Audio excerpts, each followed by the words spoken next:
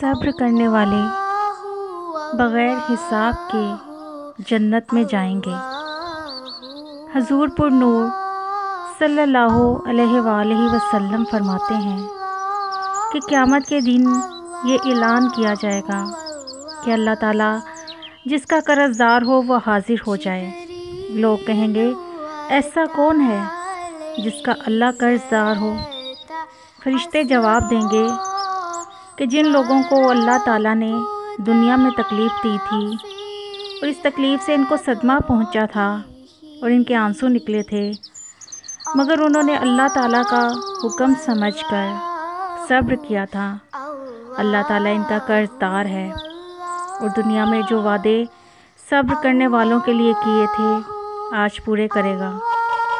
ये ऐलान सुनकर बहुत से लोग मर्द और औरतें जमा हो जाएँगे।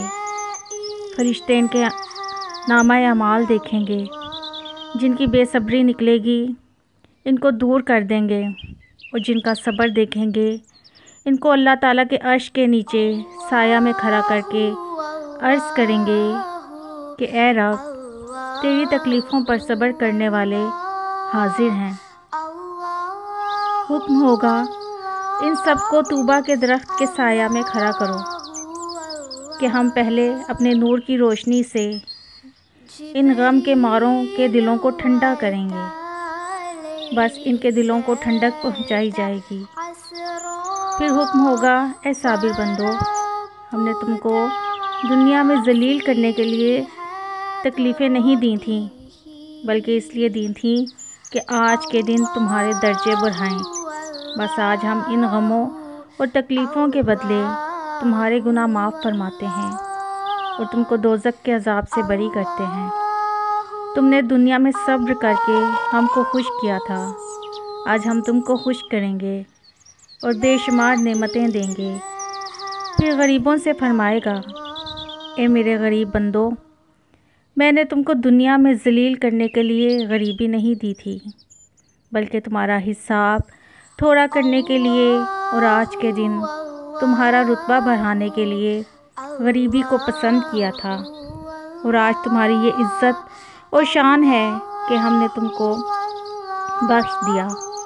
और जिन लोगों ने दुनिया में तुम्हारी मदद और ख़िदमत की थी, तुम इनको भी बख्शवा सकते हो। फिर इन बंदों से फरमाएगा, जिन्होंने अपने बच्चों के मरने पर सब्र किया था ए साबिर बंदो, अगर हम बच्चों की मौत लोहे महफूज में ना लिखते और तुम्हारे दिलों को ज़ख्मी ना करते तो आज तुमको ये दर्जे ना मिलते। सब्र करने की वजह से हम तुमसे खुश हैं। अब तुम अपने बच्चों को साथ लेकर बग़ैर हिसाब के जन्नत में दाखिल हो जाओ। अब तुम ना कभी मरोगे और ना कोई गम और तकलीफ़ देखोगे। फिर इसी तरह अल्लाह ताला अंधे, लंगड़े, कोड़ी, बीमार वगैरह मुसीबत के मारे हुओं से फरमाएगा, और सब गमज़दा लोग, मर्द और औरतें अपने अपने रुतबे को देखकर खुश होंगे।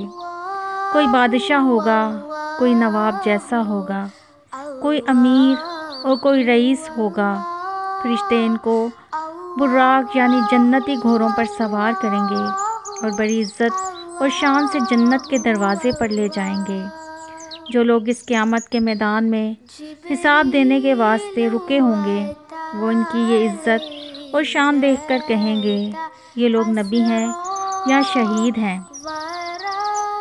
फरिश्ते जवाब देंगे, ये वो लोग हैं जिनको दुनिया में तकलीफ़ें दी गईं। मगर इन लोगों ने अल्लाह ताला का हुक्म समझकर सब्र किया और हर हालत में अल्लाह ताला के ताबेदार रहे थे।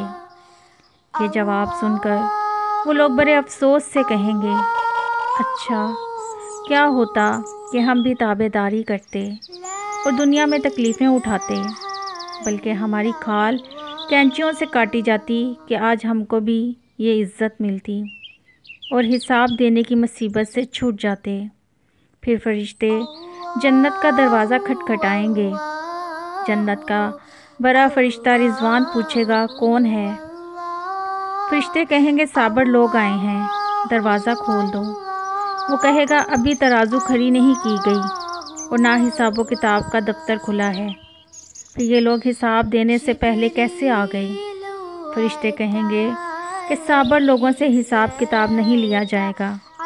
बस रिजवान जन्नत का दरवाज़ा खोल देगा और साबर लोग बड़ी इज़्ज़त और शान के साथ जन्नत में दाखिल हो जाएँगे।